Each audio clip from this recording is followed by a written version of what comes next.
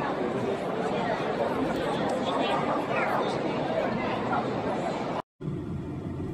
gonna change the box.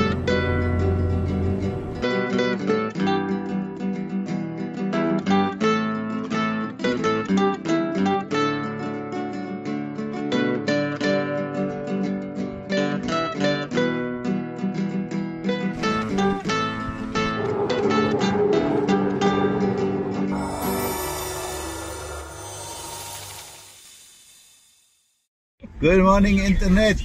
This is 8.15 in the morning and we are on our way to the Terracotta Soldiers this morning. It's about uh, one hour's drive by car and then we'll visit a very unique place in the world.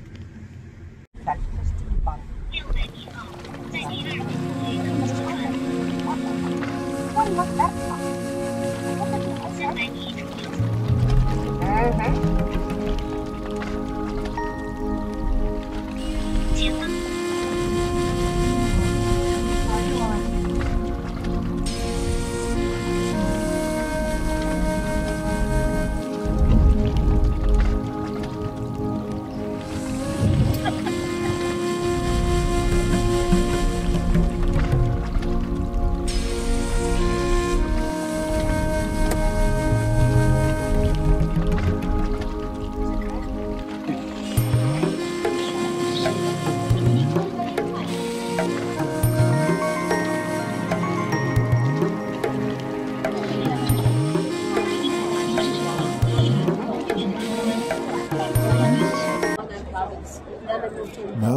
Thing about China is that there's a lot of people.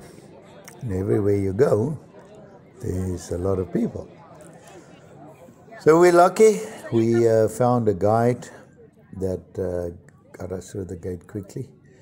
And of course, we bought the tickets online the day before. You just don't reach up to a uh, place anymore. You buy tickets online.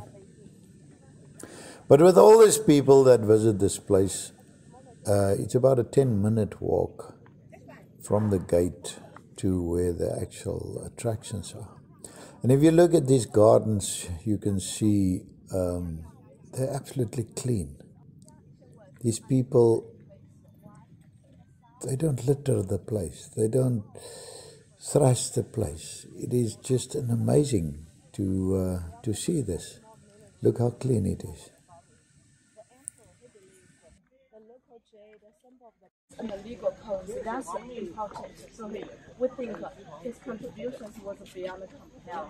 So before he unified, they Now, the Terracotta Army is uh, thousands of life size clay models of soldiers, horses, and chariots, which were uh, deposited around the grand mausoleum of Shi Huangdi, first emperor of China and founder of the Qin dynasty. This is located near Lishan in the Shaanxi province in central China. The purpose of the army was to act as uh, guardian figures for the tomb or to serve their ruler in the next life. The site was discovered in 1974 by a farmer digging a well, and these realistic army figures provide a unique insight into ancient Chinese warfare, from weapons to armor, chariots, mechanics, and command structures. Now, Xing uh, Huangdi was desperate for immortality, and in the end, his terracotta army of over 7,000 warriors, 600 soldiers, and 100 chariots has given him just that, at least in name and in deed. The site of the mausoleum is a UNESCO World Heritage Site, even if the inner tube itself has yet to be excavated. Now, Shi Huangdi was the king of the Qin state, uh, but he was the guy who unified China around 221 before Christ. And then he founded the Qin dynasty. Now, he ruled as China's first emperor until his death in 210 before Christ. His reign was short, but it, uh, his, this period saw a lot of things uh, the building of the Great Wall of China, uh, the royal palace, etc., etc., all happened in this time. But he didn't want to die alone, and he, he had this huge thing about immorality, and he decided to build this huge, huge multi burial complex which covered an incredibly 35 to 60 square kilometers. Um, now he forced thousands and thousands of families to come and work on this. Uh, some sources say more than 700,000 convicted laborers came here to, uh, to work on these uh, burial grounds. And uh, although the tomb has yet not been uh, uncovered, the warriors was discovered in 1974 and unearthed and are being restored to its full glory. Now, there's various pits on the site, but uh, pit one is the largest one, and uh, it measured about 230 meters long and 62 meters wide currently. And is, uh, it's assumed that more than 6,000 pottery warriors and horses will be unearthed from this pit. Now, all these statues are big in life, life size, and uh, exquisitely made and uniquely made. Every single one of them looks different. It looks like really, really, really like people. Now, the soldiers here in the front, uh, as we see now, they have been already been restored. And uh, further back in the pit, uh, you can see there's still the ones that's being unearthed and uh, they're broken. The reason for this was over these walls uh, there were locks that was to protect these soldiers, and uh, these locks were then uh, covered with uh, with clay. And uh, but shortly after the the emperor died, uh, there was uh, the enemy or the, the rebels. There was a rebel group that came and they wanted to destroy the rebels and they set fire to the whole pit, to all the logs and things. And then some of that collapsed onto the, the, the soldiers, etc., etc. And there was also a big earthquake uh, in that era, uh, which further would have destroyed them. But this was, uh, I mean, it was more than 2,000 years ago. So, um, yeah, it is, uh, it is amazing what has remained of them.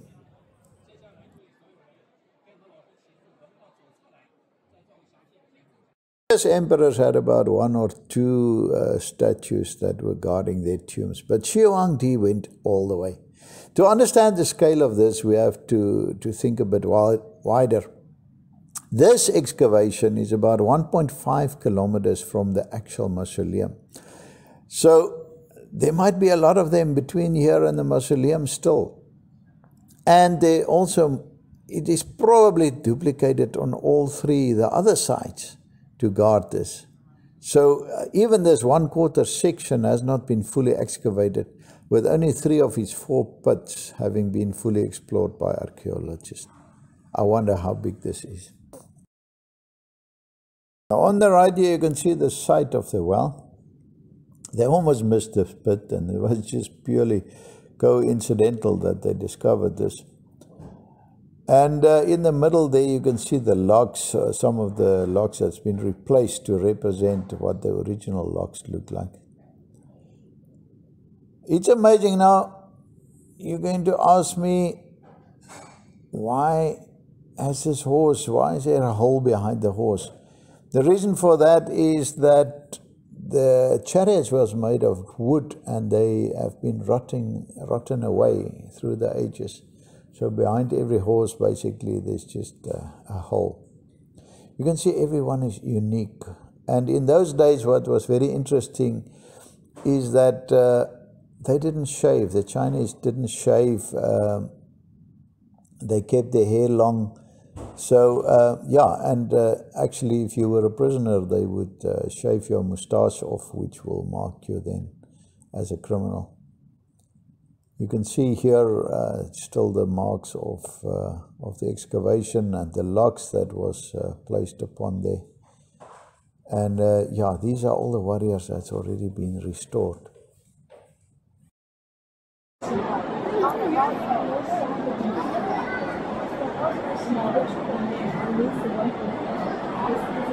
Now you may wonder why the soldiers are actually taller than the horse. Yeah, the rumor has it that uh, the Chinese horses of that time was uh, very small, uh, but they could uh, go for a long time. Also, these warriors stand about 1.8 to 1.9 meters tall. The officers are slightly larger, and the generals are the largest of them all. Probably the size depicted their strength. Now, this is the, the hospital area where they uh, get restored to their uh, former glory. And uh, each warrior gets rebuilt. Now, uh, these warriors probably have weapons, uh, real weapons in their hand uh, when they were buried swords, spears, whatever. And those have probably been stolen for their value and been sold. Also, you can see the earth-rammed wall um, which sustained the roofs. Uh, the walls was about 2.5 meters wide and some of the remains there. Here you can see uh, some of them that is really, really been uh, broken and uh, yeah, this is the data collection area and then they get restored. Now, the, uh, some of the weapons that did survive, the swords, etc., is still quite sharp and it still had the imprints of the manufacturer and its supervisor on them.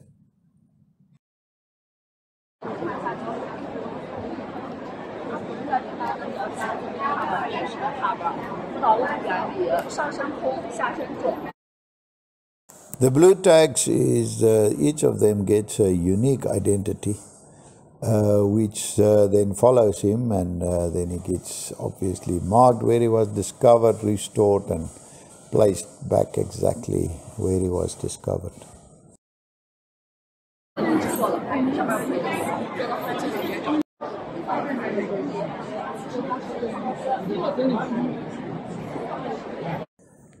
Now, besides the infantry, uh, the army includes about 600 horses, 100 chariots which carried the officers, etc., etc. But the mix in this pit uh, carried officers, cavalry, crossbowmen, skirmishers, archers, charioteers, and grooms, which gave the illusion of a complete battlefield of army ready for action.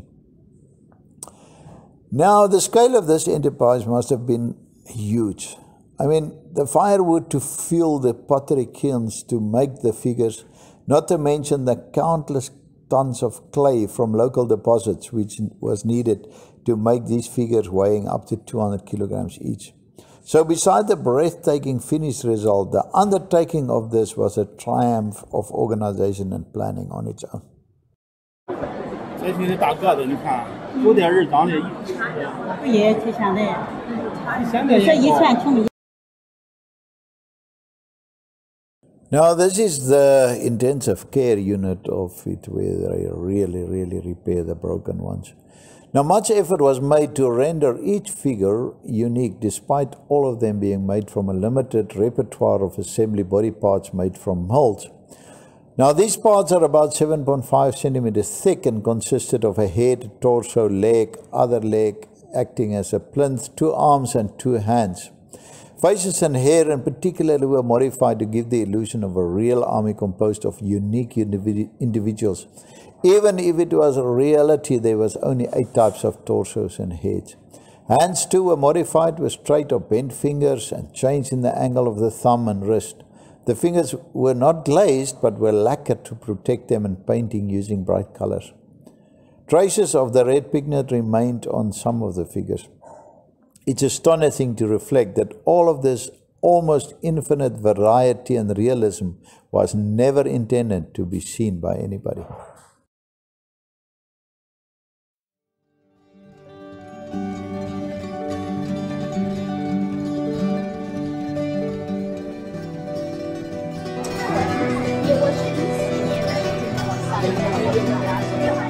Yeah.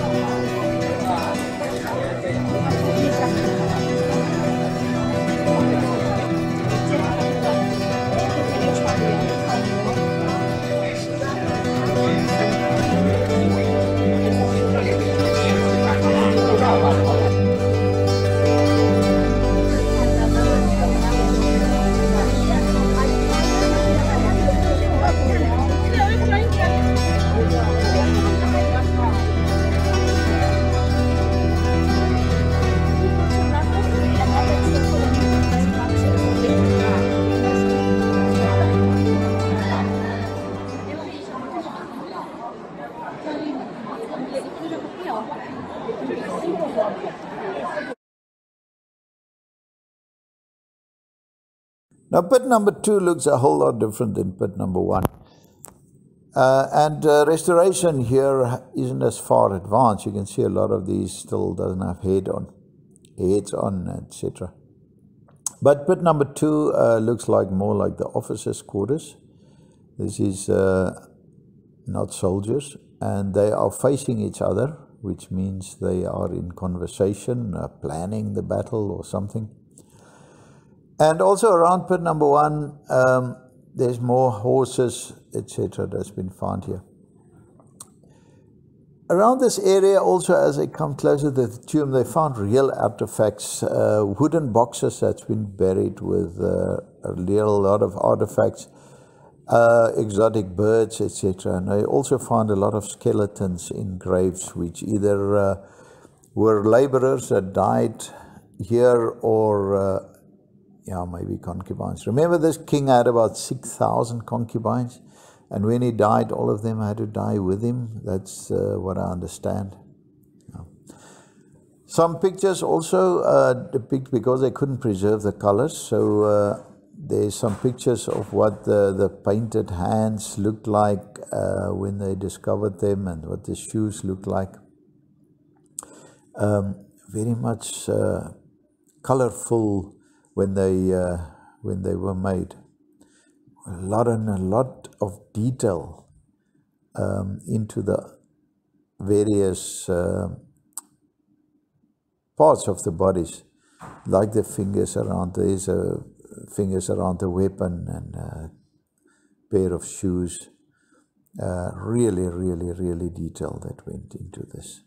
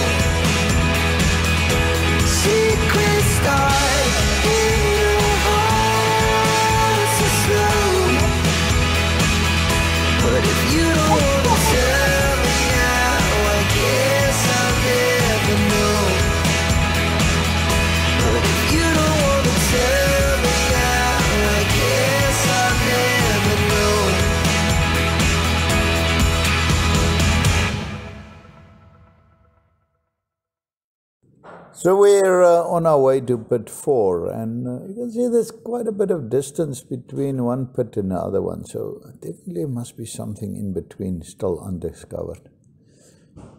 Pit four is empty. Nothing. There's walls, but there's nothing in between. So the soldiers probably never been done. This is pit three.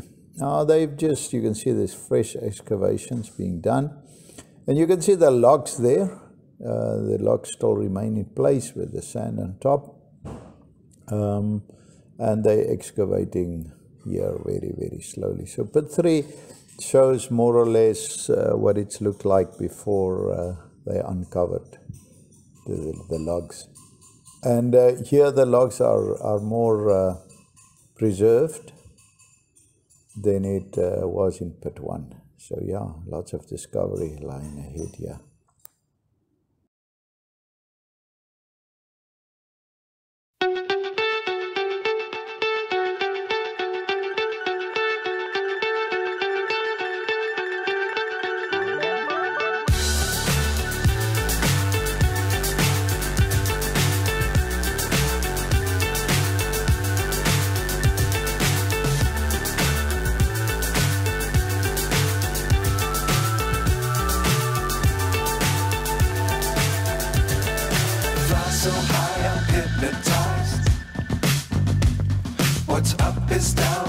this right. Chasing stars and holding you. I can't see the end, but we'll see it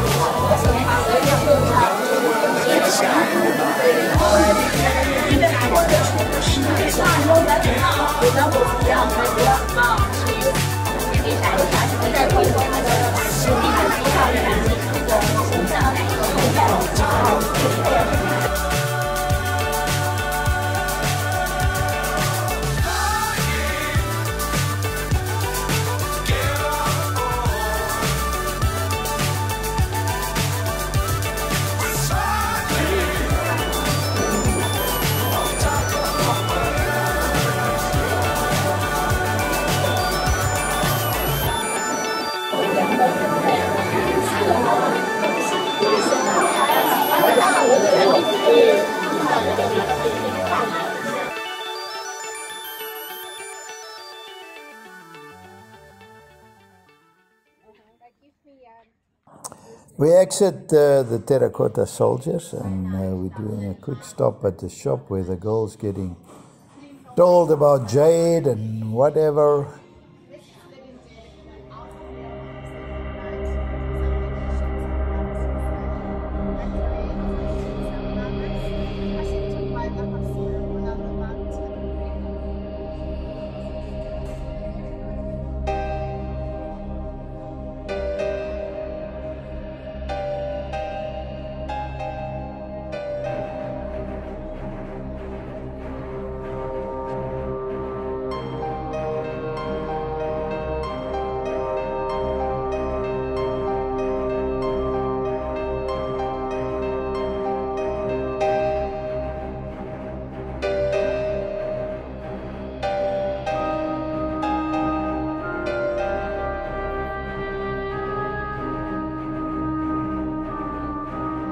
Thank you, Lina, for showing us around. Bye bye. And uh, next nice to time meet we you. will See show you next time. all our friends will come Okay. ask for you when they come here.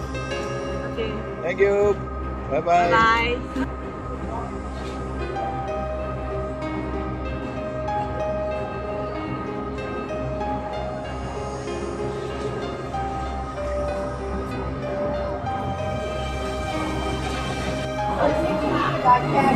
Bye. Uh, then we get hungry. Now, time to eat something at the famous KFC.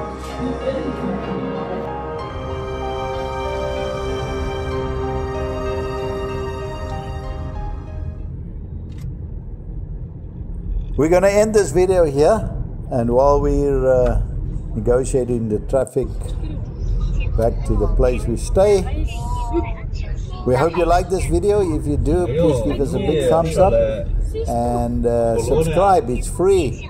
And you can see the next nice adventures we do here in China. Goodbye.